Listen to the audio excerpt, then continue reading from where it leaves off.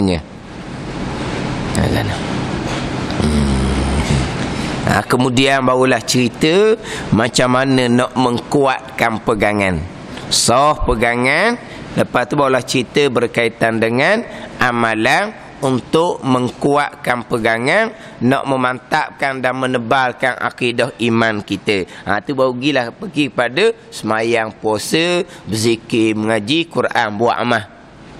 Ha, kemudian kalau ada buat salah, segera bertaubat dengan Allah Subhanahu wa taala. Ha, segera bertaubat dengan Allah Subhanahu wa taala. Jadi pertanyaan ni daripada Allah dan agama mereka itu dan nabi mereka itu. Tanya-tanya ni kemudian daripada ditanamkan mereka itu selepas ke bumi. Siap ke bumi, malaikat pun mari tanya. Siap ke bumi, kemudian dikembalikan roh kepada jasad, ha, kemudian maka malaikat pun datang bertanya.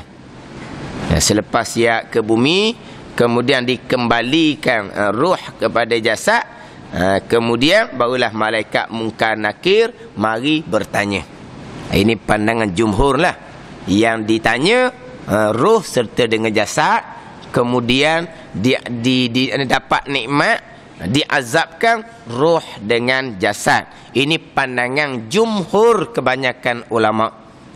Walaupun ada pandangan mengatakan yang ditanya Ha, kemudian ha, dapat nikmat diazabkan hanya roh sahaja.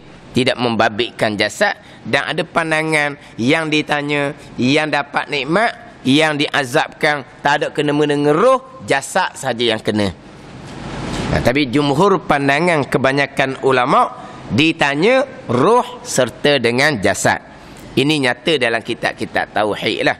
Nyata dan kita kita tauhid berkaitan dengan dikembalikan roh kepada jasad kemudian malaikat mungkar nakir pun mari tanya tapi walaupun dikembalikan roh kepada jasad tapi tetap dipanggil mayat dalam kubur dah mayat apanya?